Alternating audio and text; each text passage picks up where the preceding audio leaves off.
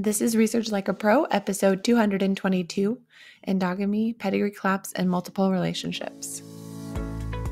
Welcome to Research Like a Pro, a genealogy podcast about taking your research to the next level, hosted by Nicole Dyer and Diana Elder, accredited genealogist professional. Diana and Nicole are the mother daughter team at FamilyLocket.com and the authors of Research Like a Pro, a genealogist guide. With Robin Wirthlin, they also co authored the companion volume, Research Like a Pro with DNA. Join Diana and Nicole as they discuss how to stay organized, make progress in their research, and solve difficult cases. Let's go! Hi, everyone. Welcome to Research Like a Pro. Hi, Nicole. How are you doing today? Okay, I have been having so much fun doing DNA Painter. It's been a blast. what are you doing with it? Well, I've just decided that I wanted to go ahead and paint all of Grandpa Elder's matches from MyHeritage. And it's part of just an ongoing effort to find the best case study. oh, the case study. and there is one line of his that I feel like would make a good case study. So I thought, well, usually whenever I do like painting of segments, I find helpful matches and it helps me to think about possible conflicts or case studies. So, anyways, I was doing that and I kind of came up with a really good system for quickly painting a lot of matches where I would filter by those that have a family relativity theory and then I will click on the triangulated match to go to the one to many browser and then you can like scroll to the bottom of that and copy and paste all of the segments from one of the matches. And then another tip I figured out was that if you know how one person is related, and then you scroll down to shared matches and see that they have like a brother or a sister who's also in your match list, and maybe that person doesn't have a tree, but since you know that they're the brother of somebody who you know how they're related, you can paint their segments. Oh, that sounds like so much fun. I really like doing painting segments with on DNA Painter. The only problem is you can get sucked into it. It can take a lot of time because it's so fun. Yeah, it is fun, which is why I like to do it. You know, when my kids and I are watching a movie and I'm sitting in my chair with my laptop. oh. or ah. I took the kids to McDonald's yesterday for our fall break and they wanted to play in the play place for like two hours and we were the only ones there and I had my laptop. So, hey, free Wi Fi. Oh, that is great. That's awesome. Way to multitask. what about you? What's been going on? Well, I've been working on my Klein research, which is the project I'm doing for our Research Like a Pro study group. And we're on the step of source analysis and the timeline. And it's been really good because I haven't looked at this research for years.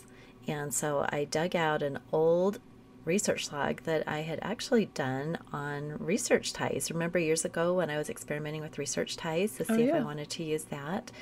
And it was wonderful because it had preserved all my research. Well, I saved the log I created on ResearchTies as an Excel file, and then I was able just to easily copy and paste that into Airtable.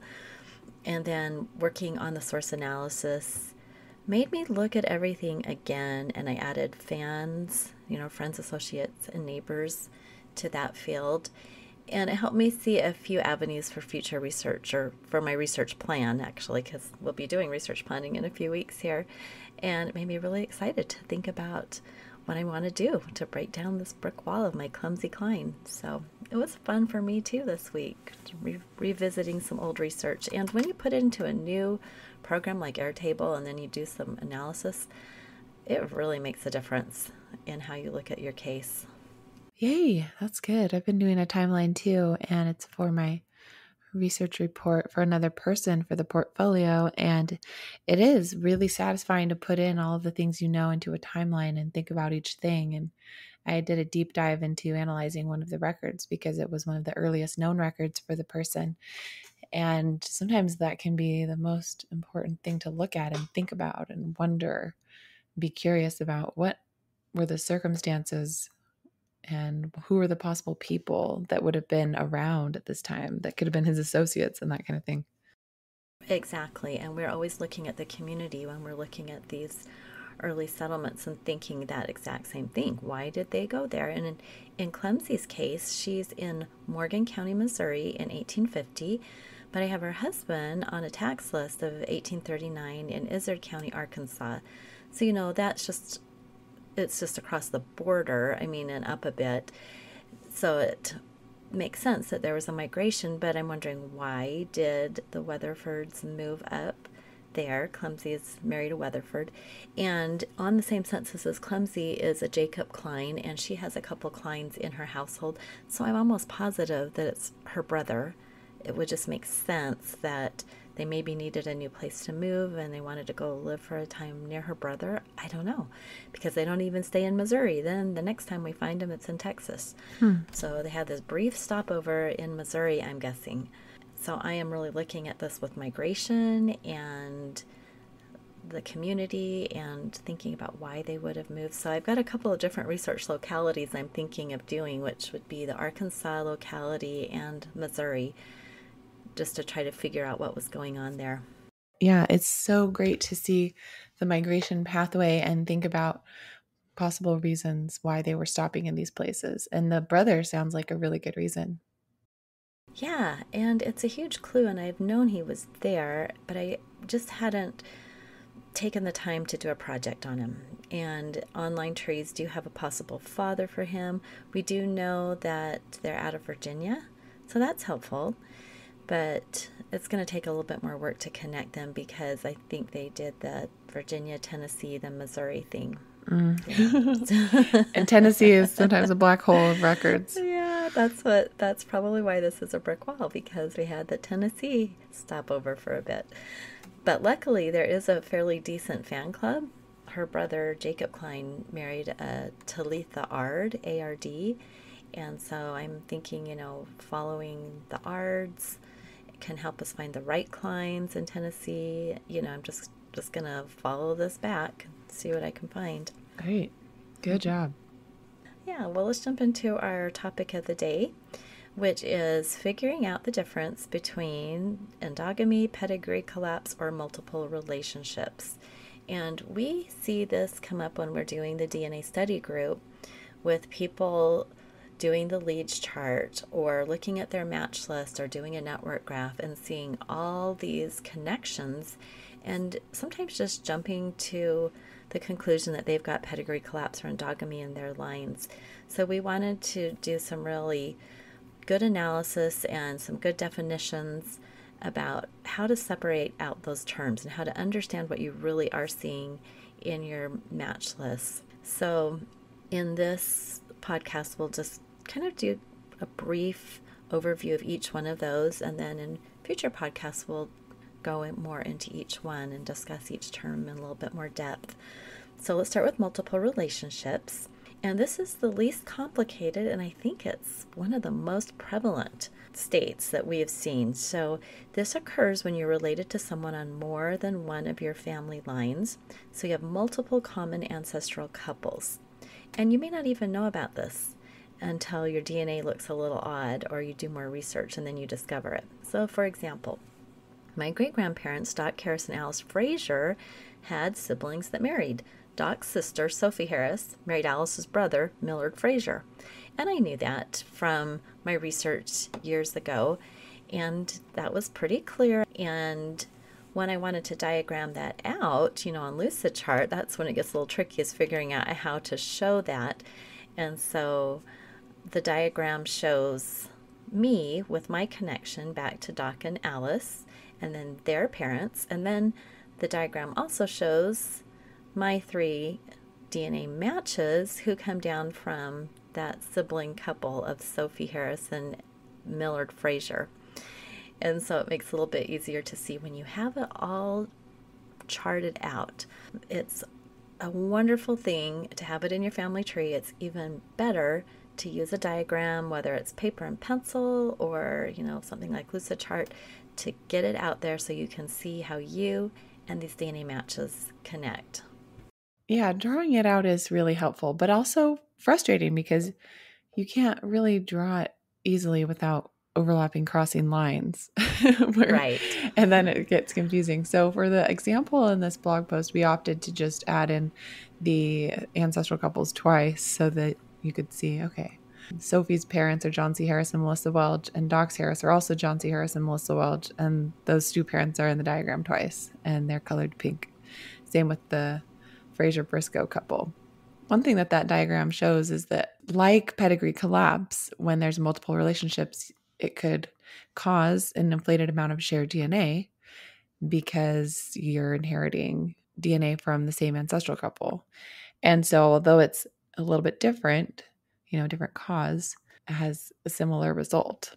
Going back to our example, if like we talked about this these descendants of Millard and Sophie share DNA with descendants of Doc and Alice because, you know, siblings of the Harris family married siblings of the Fraser family, then their descendants are going to share more DNA than expected. So that's kind of the hypothesis that you would have. And this is because they have both of the ancestral couples in common. And so, an important step in analyzing DNA matches is to view the histogram for the proposed relationships using the shared Centimorgan project by Blaine Bettinger and hosted at DNA Painter. So, for our example of this siblings marrying siblings from the Harris family and the Fraser family, they would be third cousins. Then they're also third cousins again. So, third cousins through the Harris and then third cousins through the Fraser family. And so they're double third cousins. But if you didn't know that, and if you just thought they were regular third cousins, what would the histogram look like and would the DNA kind of be off the chart? You'll have to look at the blog post to see the picture of the histogram, but looks kind of like a bar graph. And the way that it works is that you put in the amount of shared DNA, and then on DNA Painter, that tool there, it will put an arrow on that relationship histogram for where that amount of DNA fits in the, all these submissions. And the numbers across the bottom of the histogram represent the amount of shared DNA, and the numbers up on the vertical axis on the left side represent the number of people reporting that amount for the relationships of third cousin.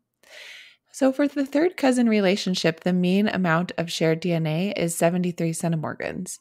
And the three cousins who are double cousins with Diana are 91, 105, and 108 centimorgans. So they are above the mean. All of them are. And typically, what you would expect for three third cousins is that some would be below, some would be above, and some would be, you know, around the mean. And with all three of them being above the mean, that's a little bit of an indication to you that, okay, maybe there's something else going on here. Another measure to look at is whether the matches are within one standard deviation of the mean. The standard deviation for the third cousin relationship is 43.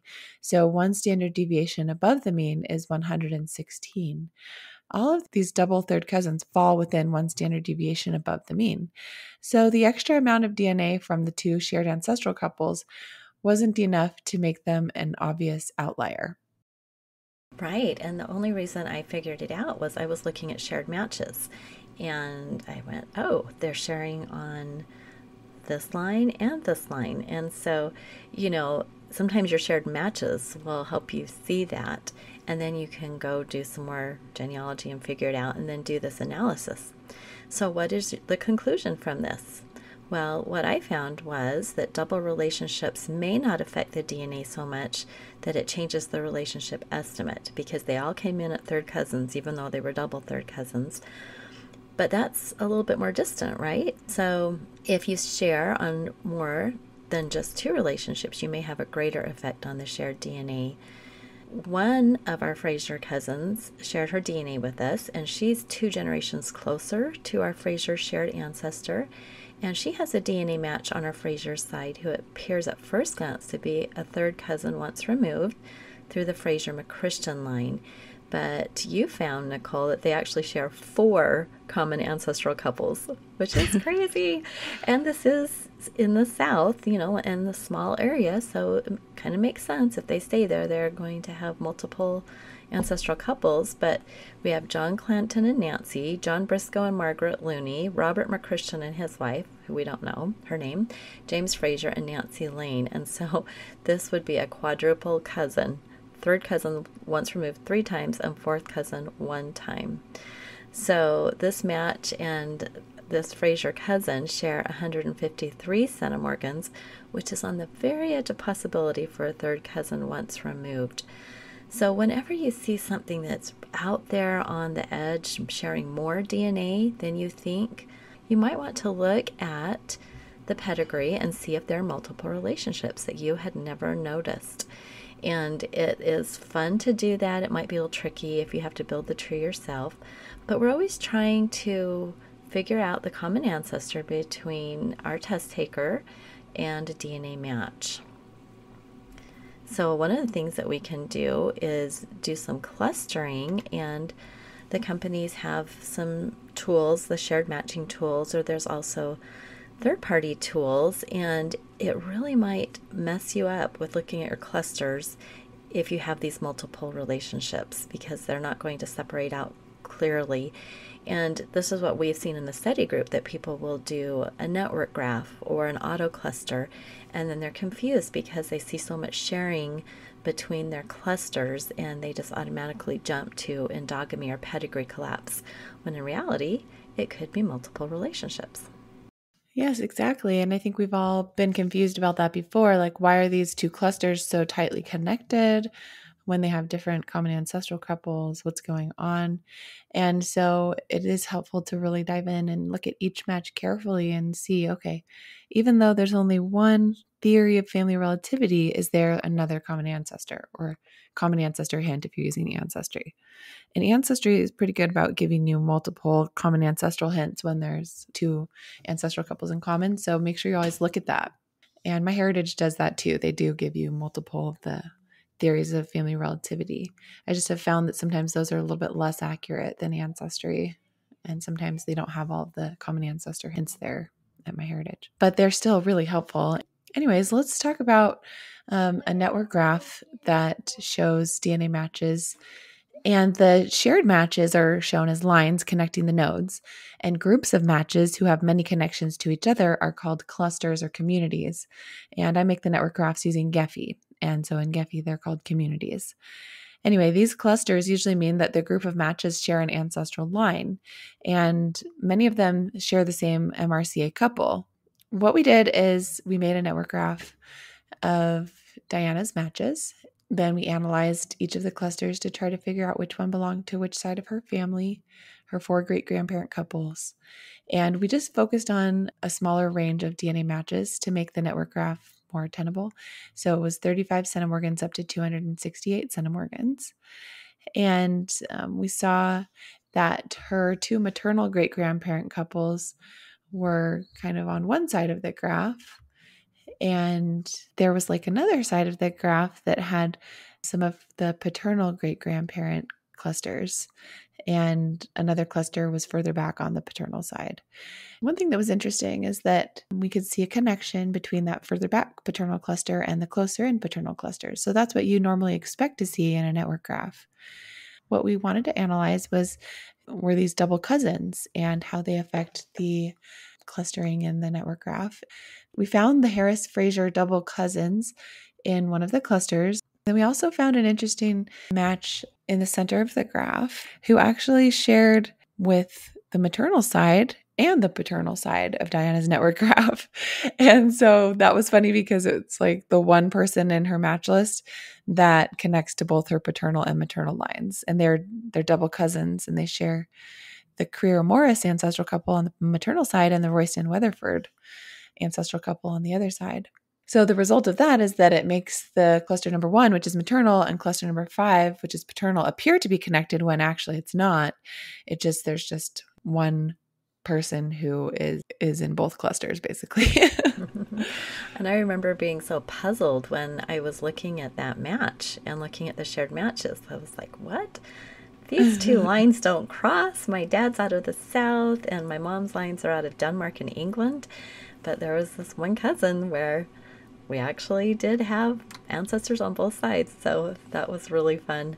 Yeah. And of course, if your parents, they're both from the same community, you're going to have a lot more crossover. I just am lucky that I don't have that at, hardly at all.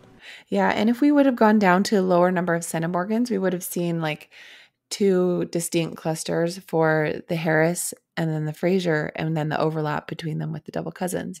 But because we stopped at 35 centimorgans, then it just kind of clustered nicely into a big group of all the Harris and the Fraser cousins into one cluster.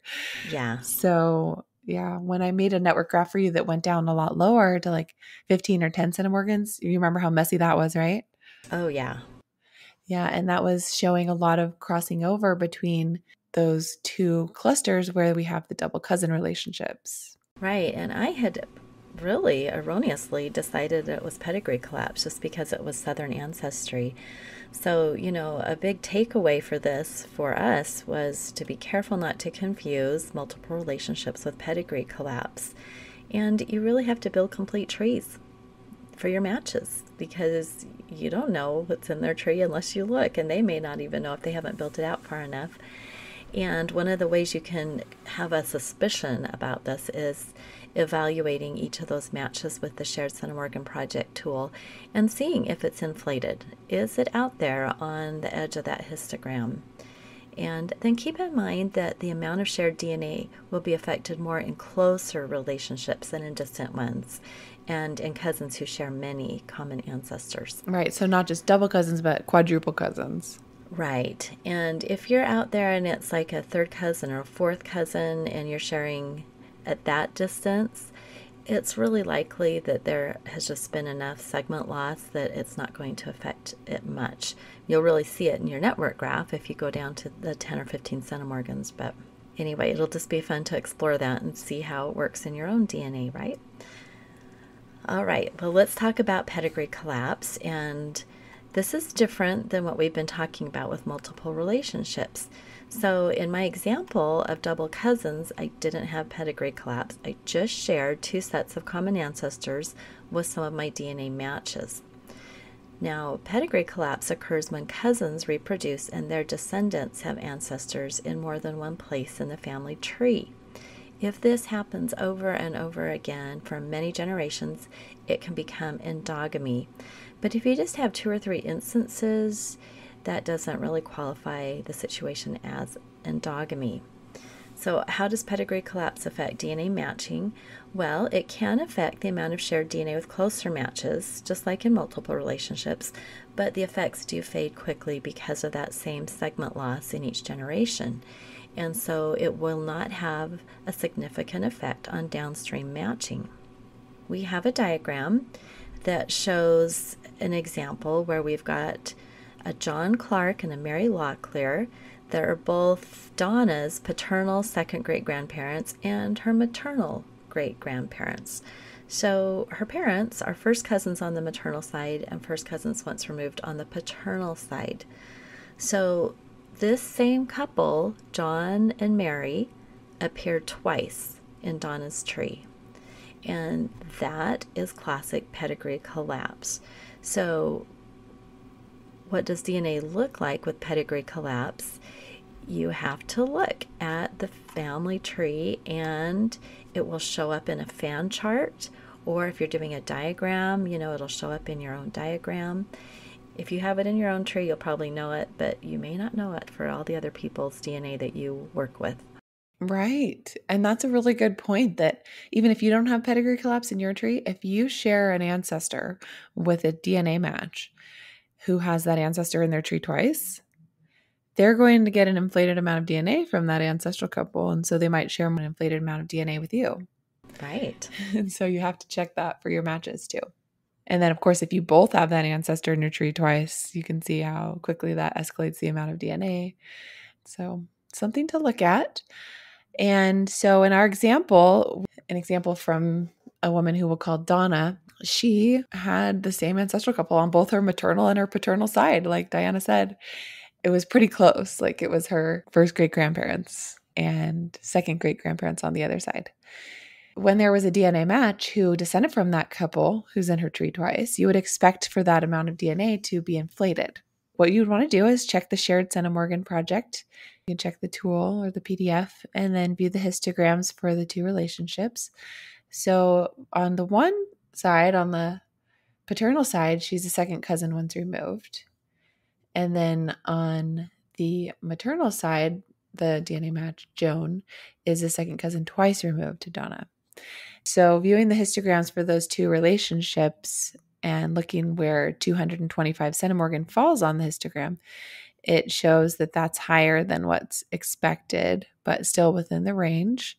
But it is pretty far from the mean. For example, the second cousin twice removed relationship, the mean is 71, and one standard deviation above the mean is 113, but she's sharing all the way up at 225 centimorgans.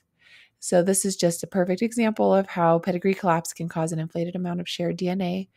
So, if you see someone sharing on the high end of what's expected for that relationship when you look at the histogram, then just consider they might have another path back to the same ancestral couple.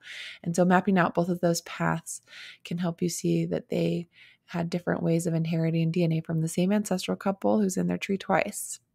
So, what does pedigree collapse look like in a network graph? When you look at our blog post, you can see the image of Donna's network graph and see how the clusters are very connected and they don't separate into distinct maternal and paternal clusters. There's just a big blob. So it could be really frustrating when you're trying to do network analysis and you just get a big blob and there's not distinct clusters to help you kind of figure out okay, these people are from the maternal side, these people are from paternal.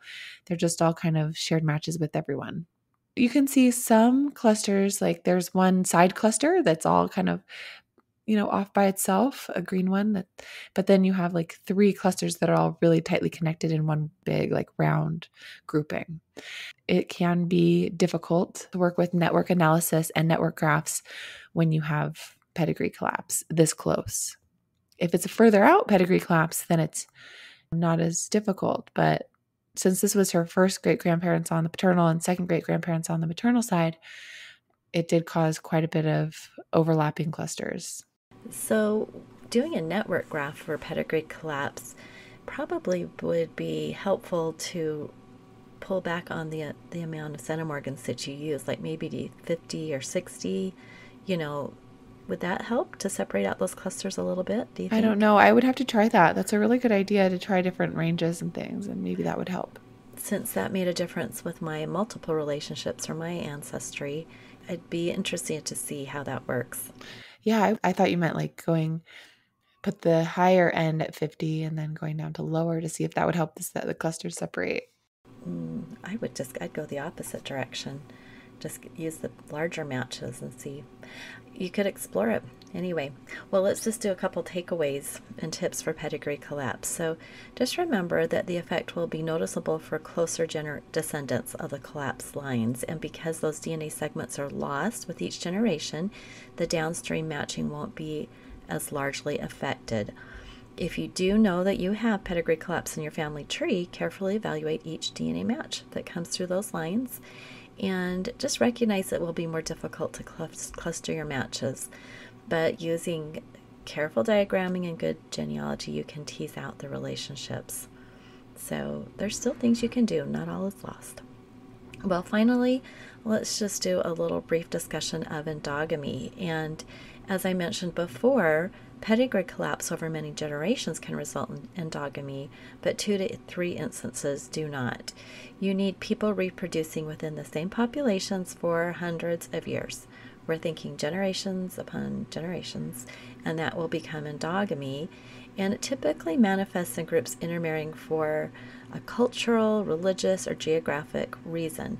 So we typically see this in populations like the Ashkenazi Jewish, Pacific Islanders, French Acadians, and the Amish. And what is the effect on genetic genealogy? Well, DNA matches will share many small segments, making their total amount of shared DNA larger, so they appear to be a closer cousin when they're actually distant and they just have many shared common ancestors far back in time. And as you might imagine, attempting to predict relationships becomes challenging because so many of the segments are inherited from that endogamous population. Exactly. It can be really challenging and really discouraging. But learning some of the tips to help you deal with endogamy can really help you gain that confidence that you can work with it again. I've learned a lot about endogamy from Paul Woodbury and his excellent articles and his webinars at Legacy Family Tree webinars. So if you're trying to work through it, I would really highly suggest that you go to those. And we have them linked in our blog post that's connected to this. But if you want to look at network graphs and do a network analysis for endogamous populations, what you'll see is just a really big blob with like no clusters at all. And so in our example, you can just see that there's kind of a purple half and a green half with some orange dots in the middle, but it's all just one big cluster. This was from an individual with Native American and Hispanic ancestry from New Mexico. And you can see that the two endogamous groups share DNA in many ways. This individual has over 100,000 DNA matches on Ancestry, and 72,000 of them are distant, which means they're sharing between 6 and 20 centimorgans. There were so many shared match connections that it was difficult to download the matches and be in common with using the DNA GEDCOM client. So we had to just do a tiny range to even get anything to generate a network graph. So we did a range of 68 to 90 centimorgans because it just kept getting hung up and stopping because there were so many shared match connections. And so each shared match is a new row. And so with over thousands and thousands of rows, there's like a limit of a million rows in a spreadsheet. So, anyways, um, it was just getting hung up. And so we just went with the smaller range and generated a network graph just to see what would happen. And as you can see with all the connecting lines, it appears that everyone shares with almost everyone else. And so, as you can imagine, attempting to discover a common ancestor without distinct clusters is very difficult. First, you would want to look at your closer matches that are over 200 centimorgans and look at the size of the segments. Longer segments um, are better. You'll want to focus on matches where the largest segment is at least larger than 20 centimorgans, maybe 30 centimorgans. Larger segments mean that you are likely related more recently than very far back. And then it helps to learn how each testing company deals with endogamy because each company has its own strategy and their white papers can explain the science behind their algorithms. Several people have written blog posts and things that can help us with endogamy. Uh, one of them is Roberta Estes. She wrote a blog post recently in her In Search of series, Signs of Endogamy, and she discusses endogamy in detail and many strategies for using ethnicity and segment data to help with it. And then she also includes a summary of endogamy tools at each DNA testing website be sure to check that out and the other articles that we've listed as resources at the end of our blog post. It's great that we're getting a lot of resources to help us because we need all the help we can get when we're talking about endogamy. So, just some takeaways and tips for endogamy. Remember that pedigree collapse can turn into endogamy, and it can be difficult to know where one ends and the other begins. But with endogamy, you really can't cluster matches, and you might be dealing with inflated amounts of shared DNA that don't reflect the correct relationship. But it's not always the case. You could have many, many matches, so work with the best matches, just like you said, Nicole, those sharing more DNA with larger segments. And then also consider testing other relatives to try to find good matches. Also consider Y-DNA and mitochondrial testing for relatives. That can help you at least sort out various family lines. And then you'll have to build trees for the best matches.